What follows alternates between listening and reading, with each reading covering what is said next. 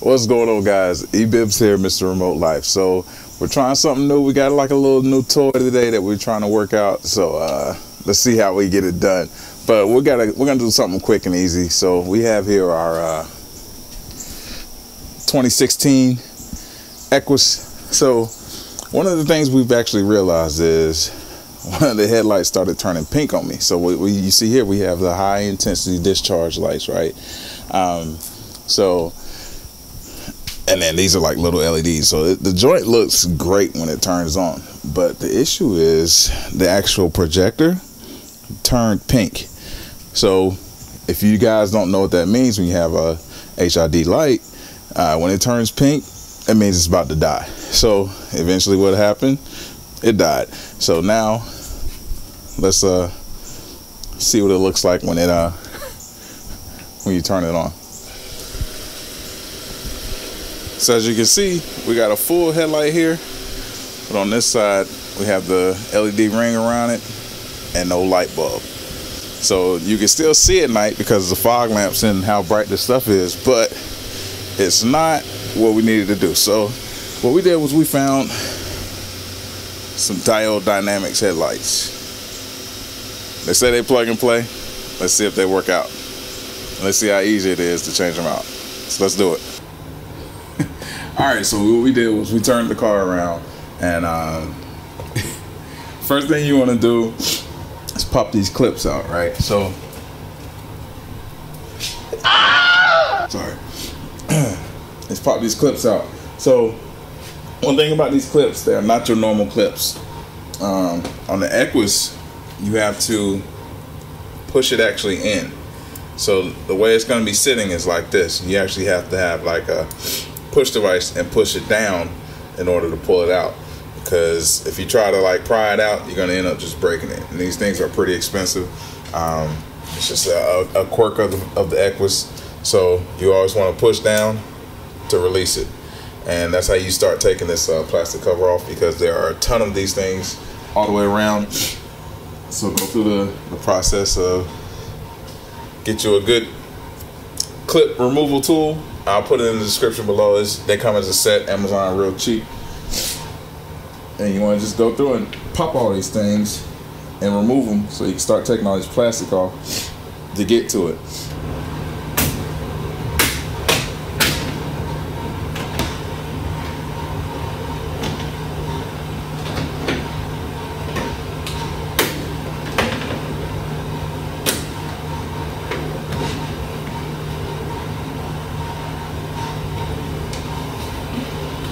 So the weird thing is I got two of these stuck in my hole. I don't know how.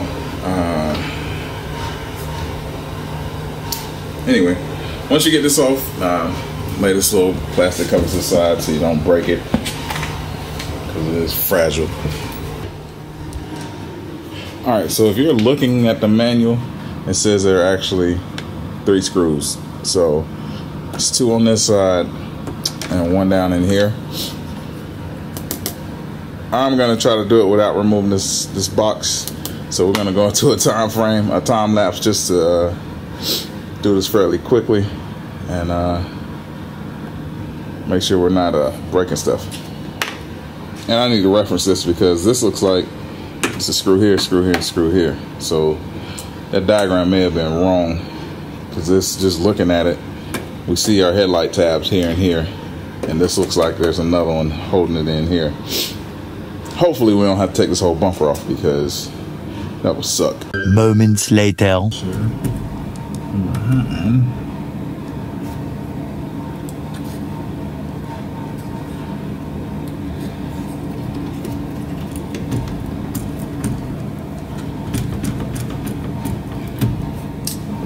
This thing feels like it's hooked onto the bumper.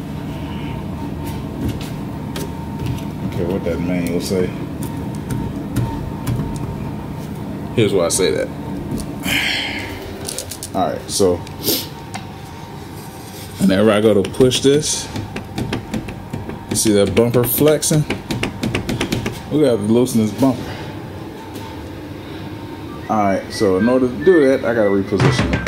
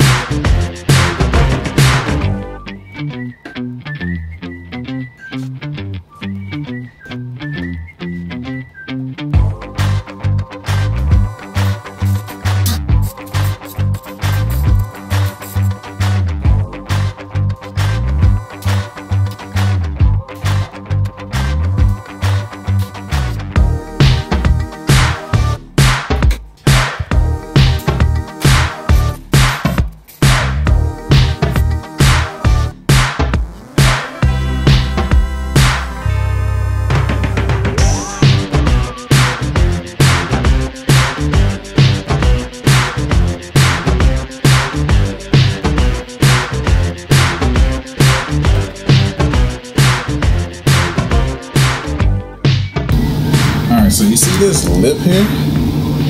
This all sits under the bumper. So you gotta pull this bumper out in order to get this light out. So the shop manual may say, oh, it's just three screws and, and take it out. No, that is not the case. All right, so we're gonna just pull this thing out and then we're gonna set up on the bar.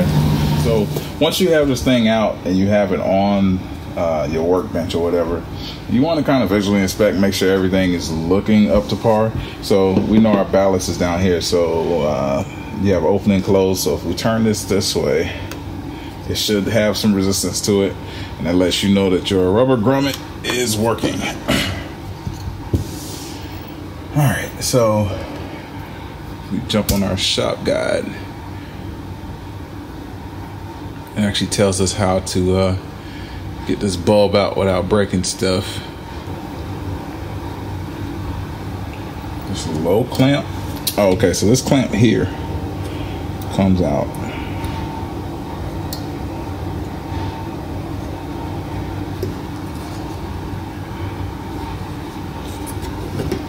Let me just pull it straight down.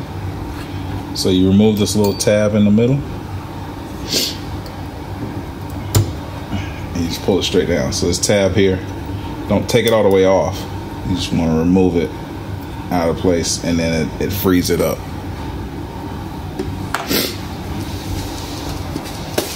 And we can take a look at our D1, D3 diode dynamics bulb.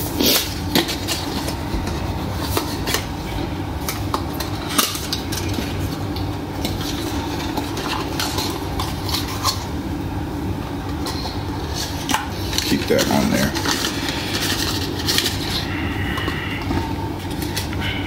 Looks about the same. Yeah, so plug's the same. Yeah, so we have the right bulb. Uh, so let's see what's missing. So it looks like we probably have to take this screw out.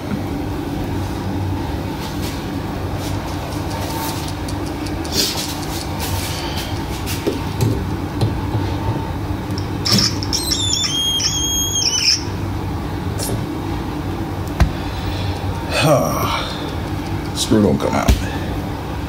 So maybe it's just a clip. No, that clip screws all the way in.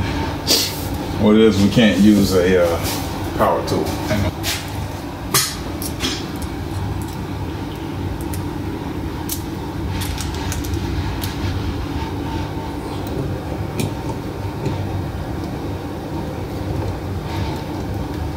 Yeah, you don't want to use a power tool on this. You want to use a manual screwdriver because what's happening is these headlights are um, they kind of balance and they turn with the they're active headlights so they turn with the uh, the steering wheel and stuff. So you want to make sure you're not breaking that mechanism which you could probably do if you put out apply too much pressure with the power tool. Drop that screw. It's one on each side.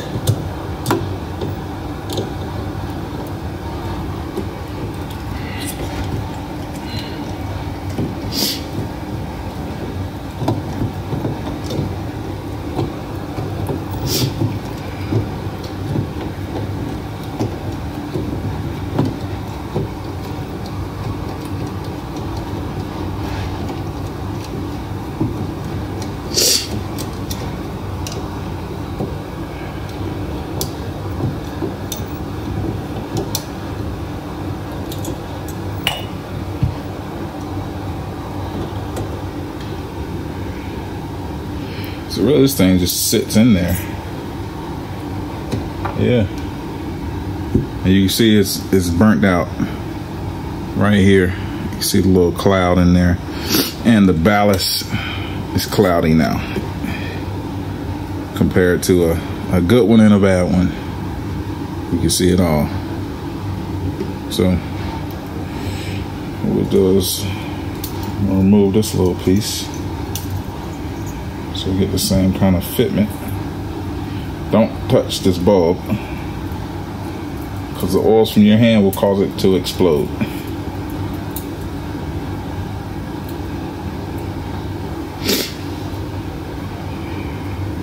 Make sure your orientation is back right. Push it back in place.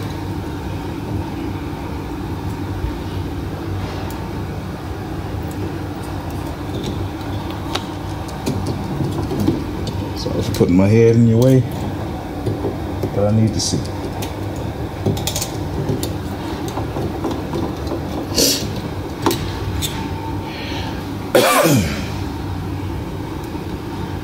I need a Claritin. Bad.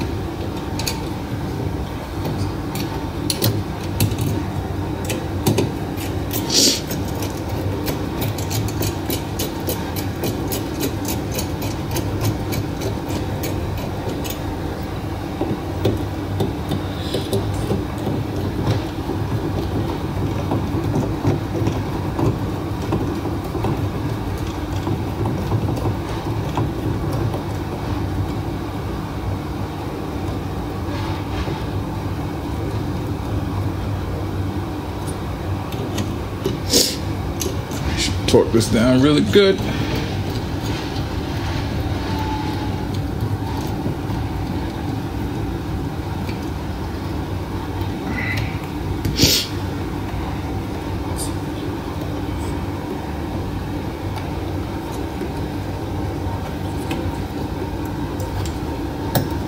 Pop that in.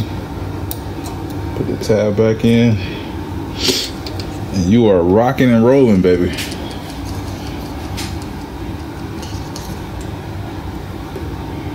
This is Orients. There's no way it's that easy. There we go. All right. So best practice will be, let's go ahead and do the other side too. I got time, but I'm gonna do that off camera. So let's go ahead and close this episode.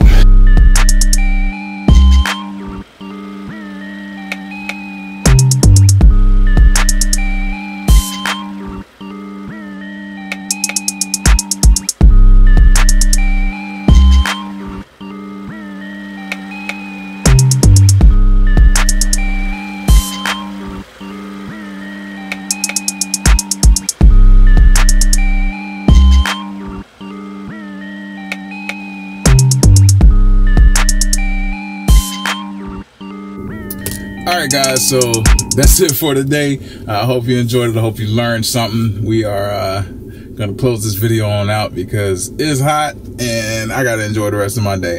But until next time, guys, if you haven't already, hit that subscribe button. Like always, until next time, it's about that remote life because we are doing the things we love and loving the things that we do. We are out of here. Peace.